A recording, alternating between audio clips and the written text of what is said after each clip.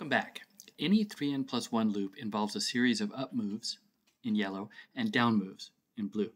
If a number is odd, we go up, and if it's even, we go down. Given any sequence of x up moves and k minus x down moves, there's only one number. If you put it into this operation sequence, you get the same number back out. In this case, we get 211 over 13. If that's a positive integer, then we've found a cycle of positive integers. But the 3n plus 1 conjecture says that's never going to happen. Now to figure out what this number is, we previously used this analog computer. We put the pieces where the up moves are, then multiply increasing powers of 2 by decreasing powers of 3, add them all up, and divide by 2 to the k minus 3 to the x. Okay, if we do that, we can get the values for all the members of all the loops of length 8 with 5 up moves. The outer uh, loop here is special. It's called the circuit loop, with all up moves preceding all down moves. We previously showed that no circuit loop of any size can contain integers. The rest of the loops are arranged in this really cool nested pattern. The one in the very middle is also special. We've been calling it the high loop.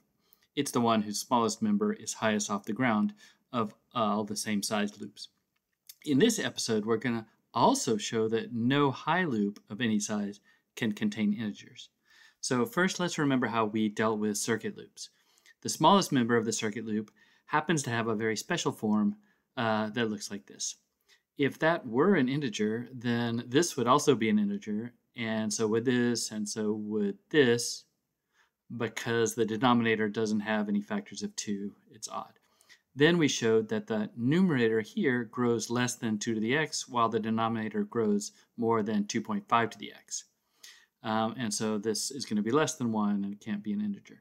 Now the last fact here came from some monstrously complicated transcendental number theory developed by Alan Baker in the 1960s. And we said it's kind of sad that we need such heavy artillery to prove that uh, this simple expression can never be an integer for any k or x. Okay, let's turn to the high loop now. To make the high loop, we space out the up moves as evenly as possible, then slot each one to the left. Here's the operation sequence for the high loop with k equals 8, x equals 5. Some people call this the devil staircase. Uh, if you make really long ones, you can see that they're very irregular. Unfortunately, the smallest member of the high loop doesn't have a simple form like the circuit loop. Because of this floor function, we can't really get a grip on the actual value, though we can work out that it's between this and this. But could it be an integer? Uh, it seems complicated, but I was very happy to find out the answer is no. And here's the idea. Uh, if the smallest member of the high loop is an integer and the largest member of the high loop is also an integer, then this expression is obviously an integer as well. And uh, for this example, if we plug in the smallest and largest actual loop values, uh, we get that um, this equals 2 to the 7th over 13. But this can't be an integer. 2 to the n can't be a multiple of some odd number. No matter what we multiply 13 by, we'll never obtain a power of 2. Uh, and so we get a contradiction. Uh, and so the um, original high cycle can't contain integers. And this is not a fluke. The same thing happens with other high loops. Um, here's the one for k equals 13, x equals 8. 3 times the smallest minus the largest plus 1 gives us 2 to the 12th over 1631. Happens every time. Um, in fact, we always get 2 to the k minus 1 over 2 to the k minus 3 to the x. So how did we come up with this formula, and how can we make sure it always works? Okay, so here's an operation sequence for the smallest member of a high loop.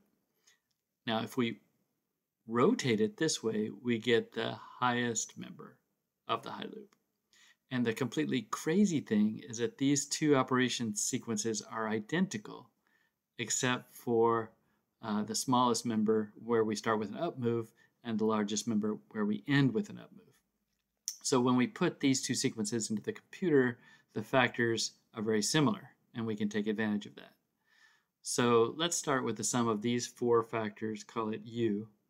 Um, to get the smallest member, we shift these guys to the right and add an up move at the beginning that adds um, 2 to the 0 times 3 to the x minus 1. And when we shift all these guys, we multiply u by 2. To get the largest member, we shift um, the same guys, but add an up move at the end. This adds 2 to the k minus 1 times 3 to the 0. And now when we shift, we multiply u by 2, but because the extra up move at the end, we got to also multiply u by 3. Okay, so now coming back to 3 times the smallest minus the largest plus 1. Uh, that equals this, which equals this, which equals this. But we know the last quantity is not an integer, so we have our contradiction. Uh, by the way, the shared operations sequences here, um, you know, in the middle, it's a palindrome. And also the whole thing only works if k and x are co-prime, which is okay because we took care of the earlier, uh, of the earlier uh, cases. Okay, pretty satisfying. Now, if we could only deal with the rest of these loops in between the circuit loop and the high loop.